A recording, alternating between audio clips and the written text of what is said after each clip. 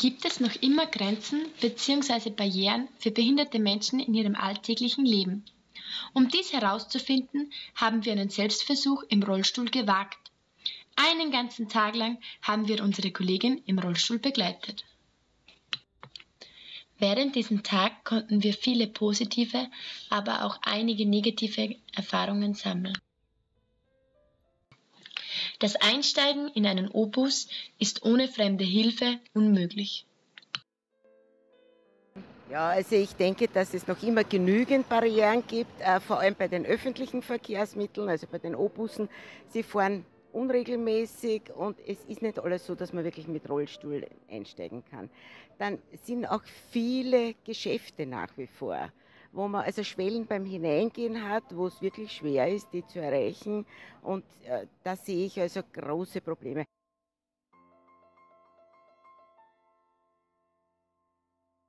Bei uns finde ich, also in Salzburg jetzt speziell, finde ich, es geht. Also es gibt zwar offiziell in den meisten Gebäuden diese Lifte und so weiter, aber ich, mir kommt halt irgendwie vor, das ist nur, damit man halt die Regeln eingehalten hat.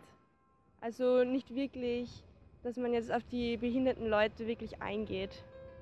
Und auch wenn man jetzt im Bus oder so einsteigt, denn die Leute versuchen jetzt auch nicht wirklich aktiv irgendwie den Rollstuhlfahrern zu helfen. Es ist halt immer so, dass sie dann irgendwann so, hm, Entschuldigung, darf ich mal, ich muss kurz zu dem Rollstuhlplatz.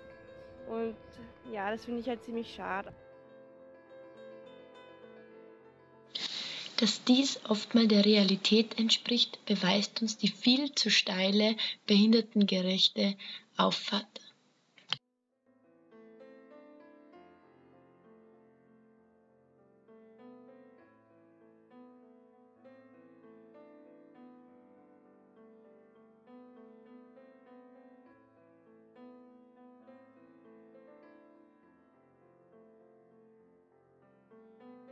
Glaube, dass es genügend Beeinträchtigungen für behinderte Menschen gibt. Allein, wenn ich es oft auf dem Platz sehe, die jetzt normal mit dem Rollstuhl fahren, zum Beispiel, wenn ich mir jetzt das schaue, da die Gasse rauf, das ist ja sehr unattraktiv, natürlich mit den vielen Wellen, mit den Hugeln, die dann sich oft einmal hart, wenn sie keine Hilfsmittel auf dem Rollstuhl haben.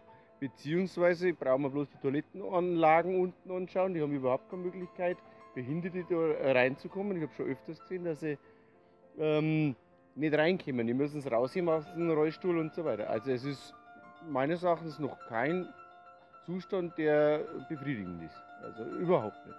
Also müsste noch viel mehr für Behinderte gemacht werden. Ich glaube, dass weder Europa noch Österreich noch Deutschland irgendwie auf dem Weg ist. Ich glaube, dass immer nur im letzten Moment das gemacht wird, was irgendwie erpresst oder er, erstritten wird über Gerichte. Das glaube ich. Also glaube überhaupt nicht, dass es irgendwo irgendwelche Stellen gibt, die freiwillig und im Voraus und, und einfach der Situation entsprechend handeln, das glaube ich absolut so.